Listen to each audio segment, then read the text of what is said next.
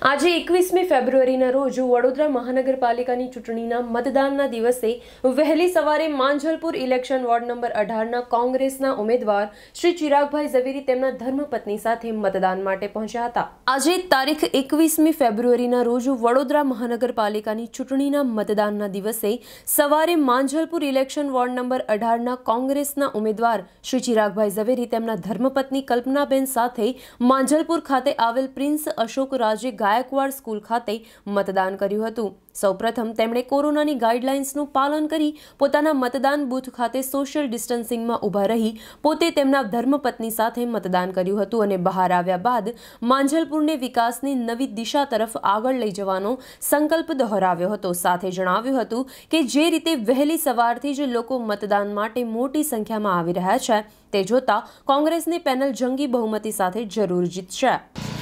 આજે લોકશાહીનો પવિત્ર દિવસ કહેવાય.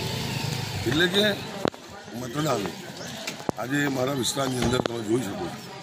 ખૂબ ઉત્સાહ સાથે મતદાન અને સાથે સાથે આક્રોશ કે સવારના પોરમાં સાત વાગ્યામાં લાઈનો પડી ગઈ.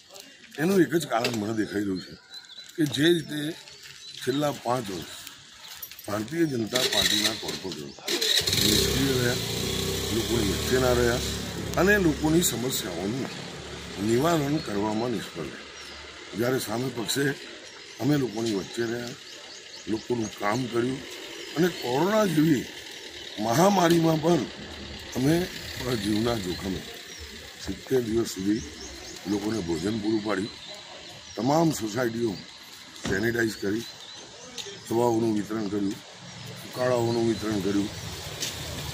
એટલે કે લોકોની વચ્ચે રહી લોકોની સુખ દુઃખના ભાગીદાર બન્યા અને સાથે સાથે ફાજલપુર વિસ્તારને વિકાસની નવી સિદ્ધિ બતાવી.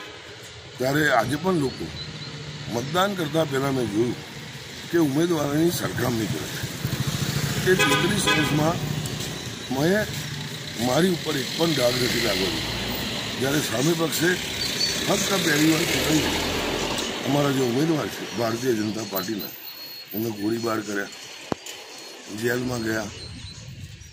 કોરોના જેવી મહામારીમાં કામગીરી કરવાને બદલે વોર્ડ ઓફિસમાં ડેંગુ કાઢીને તાંડવ મચાવ્યું અને માજલપુરની કલંકિત કર્યું. માજલપુરની પવિત્રતા હણી એનો પણ આક્રોશ આજે લોકોમાં દેખાઈ રહ્યો છે અને એનું ભારે વોટિંગ થઈ રહ્યું એટલે મને ચોક્કસ ખાતરી છે કે લોકો મારા માજલપુરના સારા સમજુ છે. અમને લોકોને અમારી કામગીરીને, અમારા સંબંધોને અમારી વિકાસની દ્રષ્ટિને સાથ સહકાર આપી અમારી પેનલને ચોક્કસ બહુમતી અપાવશે અને માજલપુરને એક નવી વિકાસની સ્થિતિ સ્થિતિ જ અમે બતાવીશું અને લોકોને સુખ, શાંતિ, સગવડ અને સલામત અમે પૂરી પાડીશું એવી અમે ખાતરી આપીએ છીએ અને લોકોને અપીલ કરીએ છીએ કે તેઓ મારી પેનલને વિજયી બનાવે